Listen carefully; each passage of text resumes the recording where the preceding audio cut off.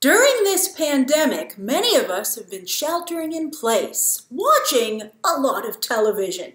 And you know who else apparently loves to watch television? Wanda Maximoff. As in her upcoming Disney Plus series, she uses her powers to plunge herself into a multi-sitcom fantasy. And this is actually a very clever idea.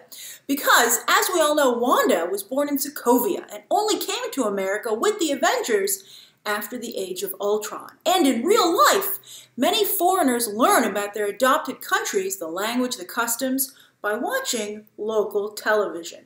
Often sitcoms because it's a little stilted delivery, it's very clear, uh, and it's short. It's short. We'll get to that in just a moment. Uh, but you know what uh, foreigners used to do before television was around? Well, a lot of people, for instance, who came to the United States uh, uh, through Ellis Island well, they would learn about America through comic books. Ah, you see what Marvel did there? It's very, very smart. But they're not actually the first person to think of it, because sure enough, DC did it first, and now Marvel's going to get the credit. But over on Young Justice, they had the same idea, as Miss Martian, and alien, learned all about Earth by watching the popular sitcom Hello Megan. And she loved it not just because it showed her a place that was better than where she currently was living, as we all know from Martian Manhunter, you know, things took a bad turn on Mars. Uh, but she loved that every problem was solved in 22 minutes. Aww. Although, if they use that line on WandaVision, I'm not going to believe it. That is the average length, by the way, of a sitcom because you have to account for commercials uh, to fill the half hour block. But anyway, speaking of problems, Wanda's got a lot of problems too, so that might be the appeal there as well. Now, just to give you some background into the comic books that inspired this event, they were larger in scope, but then again, you know, they're adapting it for a television show, uh, even though they're spending a lot of money on it. So it's interesting to see them adapt the House of M to a smaller scale, and also within the world that Kevin Feige has built, because he's not very comics accurate either, because he's, you know, it's pretty far off the source material at this point. So anyway, the House of M, on which uh, the comic book event on which WandaVision is based, featured Wanda creating an alternate reality where she and her family, in the comics, she, she it is it is kind of like Doctor Strange. They've done it actually more so in the last, you know, couple of years. Uh, but you know, she used to have hex powers that were she could uh, alter reality, uh, and it was more she was more in her own wheelhouse, and so that was both that was a double-edged sword, as you're going to see very shortly in the MCU. But she created an alternate reality where she and her family, led by Magneto, ruled. I think it's very telling. She didn't make herself the ruler, and I think it, that really is evident in a lot of the personal self-esteem issues that Wanda also suffered from in the comics. That's a whole different discussion. Uh, of course, I'm very happy on WandaVision. Wanda's the star of her own show. Well, co-star at least with Vision. Uh, but anyway, uh, Magneto ruled with uh, Wanda and Pietro at his side, and they ruled a world where mutants were the dominant species over humans. They flipped the script. Uh, but there's no Magneto yet in the MCU, and Pietro is dead for now. Uh, I think there are pretty good odds she could resurrect him during this show. We'll see. We'll see. I mean, if she's resurrecting people, why not Pietro? We didn't get enough Aaron Johnson. He was very good in the role. But still, even without the House of M as it was in the comics, they still are being faithful to the, the, seed of the idea, which is that she's creating an ideal, ideal situation for her family.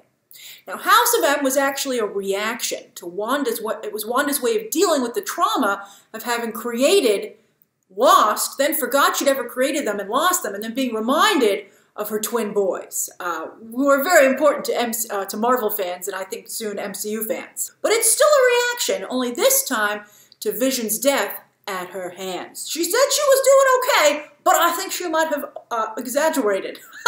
They're like, we really, sh they should not only have someone who does blowouts at Avengers Tower, but apparently also therapy. Now, Wanda's boys eventually stayed real in the comics, and here in the MCU, as I've told you before, word is that they will be aged up to join the Young Avengers, you know, which could be right now Marvel's planning to go before cameras next year.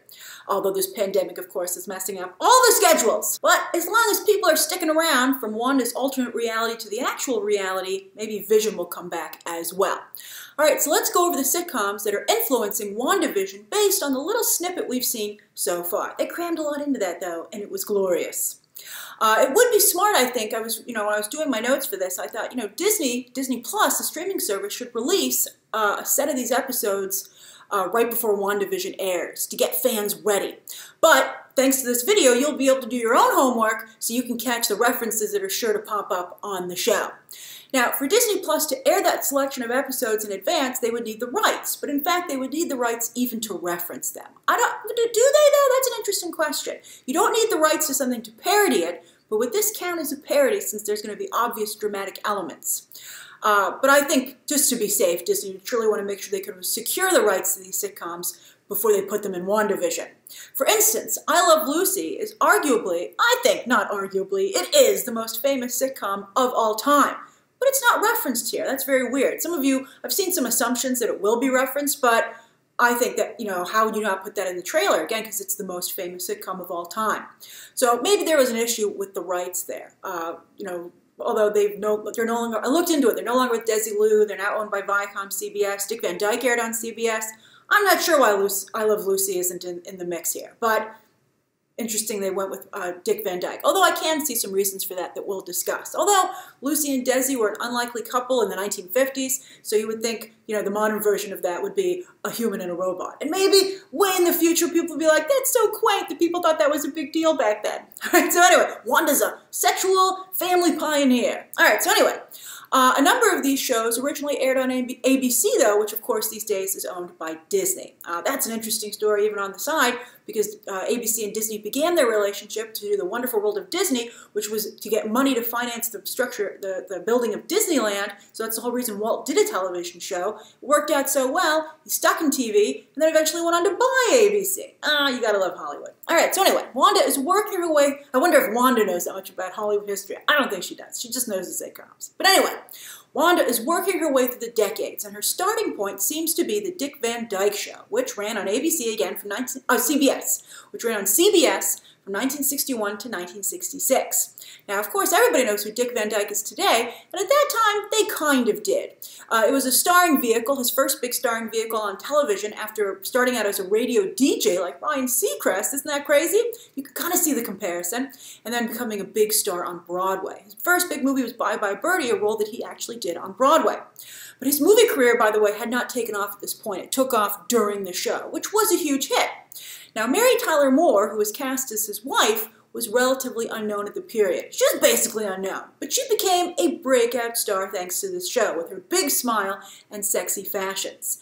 In fact, though, Mary Tyler Moore went on to be a feminist icon with the Mary Tyler Moore Show, which might be why WandaVision is interested in that specific parallel, maybe, oh, you know, perhaps over I Love Lucy. Also, I think Elizabeth Olsen has a lot of, you know, physical similarities to uh, Mary Tyler Moore. Uh, now, while the teaser trailer didn't seem to reference Bewitched, don't be surprised if that shows up as well. Uh, that was an ABC hit from 1964 to 1972, uh, and of course was about a witch living with a non-witch husband and all the shenanigans that entailed. And there were a lot of shenanigans. Uh, he, Darrin was very patient. Uh, Bewitched made Elizabeth Montgomery a household name. Elizabeth Olsen's got to do the nose twinkle. I love it. The movie, the movie adaptation was not good, but the sitcom is actually quite good. All these sitcoms are very good. You could watch, you could just like spin a wheel and pick any episode, and I think you'd be very happy. Now, the show is also famous, though, for switching out her husband, Darrin, for another actor in its sixth season due to the first actor having some health issues. Uh, now, of course, today, switching up actors in an ongoing role is the norm, right? We're used to it. But back then, it was a pretty big deal. I think partially because you know it had really not really been done very much before, and, and they never talked about it in the show, and people were like, "This is what was weird." You were like, "That's a new guy," but the two actors actually looked very similar, and they both were named Dick, the actors. So it was like very surreal, and so the two Darrins is actually quite famous in television history. All right, so next up, the Brady Bunch. Here we have a blended family. Get it? uh, with a spunky live-in cook and maid. I wonder if, uh, if Wanda will get one. Uh, this was the premiere sitcom of the 1970s, also on ABC, and ran from 1969 to 1974. But in the WandaVision teaser, in the shot that looks like it's the Brady Bunch, she's pregnant. So it'll be interesting to see how WandaVision references a show that's about a big family when there still isn't a family. All right, next, the 1980s. Some people look at this specific shot where we see the pacifiers for uh, Wanda and Vision's twins pop into frame, and some people see Full House, and some people see Family Ties. I understand the Full House reference, and we'll get to why it's so perfect in just a moment, But visually, though, that just looks like the Family Ties house to me. Now, both sitcoms, of course, are about families. Full House, also on ABC, 1987 to 1995. Uh, although recently it came back as Fuller House on Disney's arch nemesis Netflix, although that has also run its course, so I guess it's back up for dibs. Uh, fun fact, not only is John Stamos a big Disney star still, uh, you know, today, even today, he has a Disney Plus series, in fact, in the works about a basketball coach that we discussed. Uh, he could do a cameo. He could do a cameo on the show, which I think would be a lot of fun. But uh, hello, Megan. Of course, there's the the uh, Mary Kate and Ashley Olsen connection. That's Elizabeth Olsen's twin sisters, and they were the show's biggest stars. They made the Olsen name famous, established their own connections as they grew their own careers. Although now, of course, Elizabeth eclipses both of them. But Elizabeth Olsen likely wouldn't have her career today if not for what her sister, you know, the groundwork that her sisters laid thanks to Full House. So that would be very meta for them to reference that sitcom. I would love to see, I wonder if Mary Kate and Ashley Olsen would show up, especially also because Wanda gives herself twins. Oh, it's ripe for, it's so interesting. They gotta, I think they gotta do something with that. Now, on the flip side, Family Ties aired on NBC from 1982 to 1989. It made, Michael J. Fox a big star. Interestingly, he was playing a Republican at the time. That, of course, was the 80s, so he was a, you know he was a very strong Republican uh, back when everybody got along, and you you could be a Democratic Republican, and everybody still was cool with it. Um, great, great performance. You know, he was fantastic. And in fact, he shot Back to the Future, the first film, Nights, while shooting Family Ties during the day.